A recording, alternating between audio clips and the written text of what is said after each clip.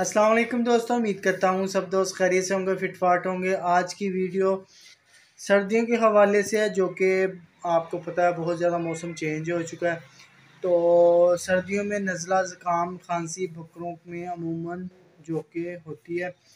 उसके बचाव के लिए हम एक जो कि कावा तैयार करेंगे। जैसे कि मैंने पहले भी एक वीडियो अपलोड की है तो आज बना रहा था। मैंने कहा, चलो दोस्तों के साथ इस वीडियो को भी शेयर किया जाए।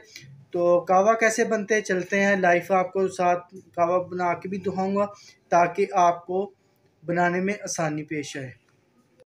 वीडियो स्टार्ट करते हैं तो जी, जो जो इंग्रेडिएंट्स इसमें इस्तेमाल होंगे, वो आपको मैं इस वीडियो में सबसे पहले जी, कलवंजी, जो कि 25 ग्राम 25 ग्राम बड़ी इलायची 25 ग्राम मेथे 25 ग्राम साबुत मिर्च लेंगे तो एक पाव चीनी या आप गुड़ का भी इस्तेमाल कर सकें।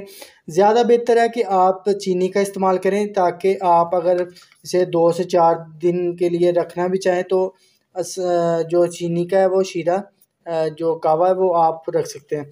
अच्छा तो छठे नंबर पे लेंगे जी सौंफ पच्चीस ग्राम, दालचीनी पच्चीस ग्राम आठवें नंबर पर जी आएगी हमारी चाय की पत्ती, जो कि तीन से चार चम्मच आप ले सकते हैं।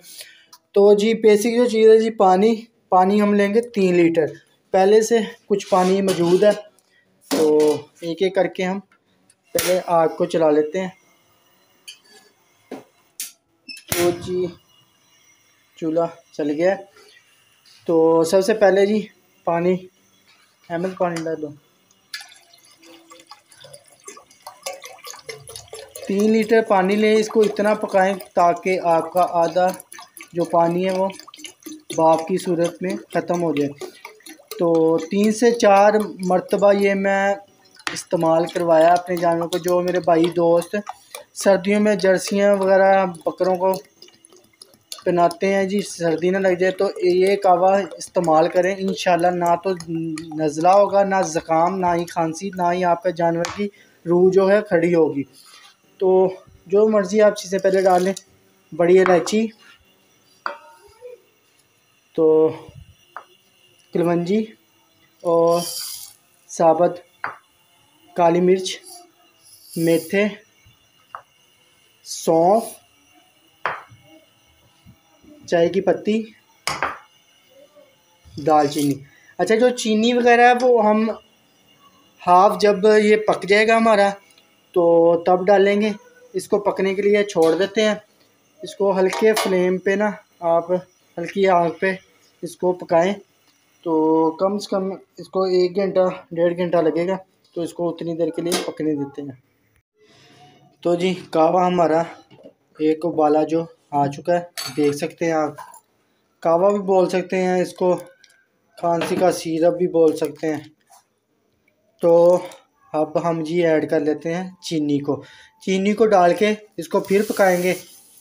तो अच्छा तो दूसरी जो इसके अंदर चीज़ें हैं, वो आपने वेस्ट नहीं करनी, वो भी हम अपने जानवरों को देंगे। वो भी मैं आपको बताऊँगा किस तरह आप उसको दें। मसाले के तौर पे उसमें थोड़ी सी चीज़ें और ऐड करके मसाले के तौर पे दूँगा उसको। तो चीज़ें ये बैठ गई हैं। तो इसको ज़्यादा पकाने का मकसद ये है कि हर चीज़ अपना असर पानी में छोड़ दे। तो थोड़ी देर के लिए इसको फिर पकने के लिए छोड़ देते हैं। कावा हमारा पक चुका है। आग को करते हैं बंद। ठंडा होने देते हैं इसको थोड़ी देर के लिए। तो उसके बाद अपने जानवर को पिलाऊँगा मैं।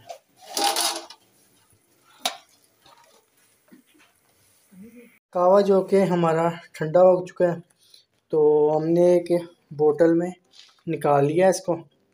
सवा दो लीटर की बोतल थी, उसमें हमने इसको फिल कर लिया महफूज करने के लिए।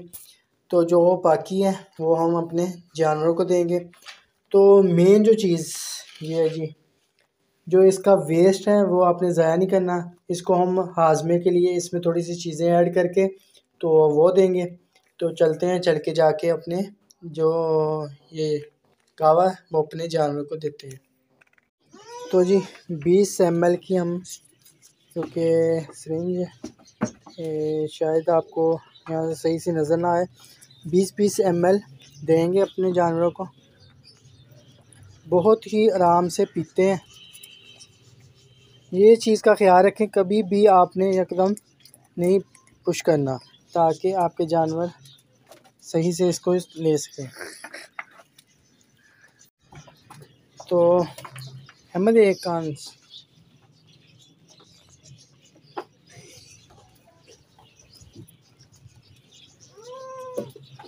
तो जी बस कर।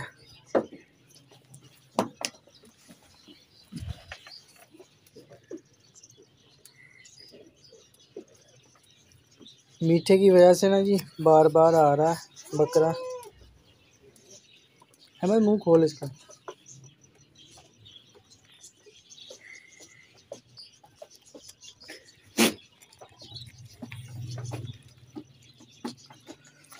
छोड़ दे।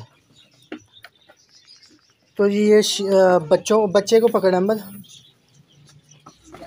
किसी बच्चे को पकड़ ले। तो बच्चों को जी आपने 10 से 5 एम एम देना है।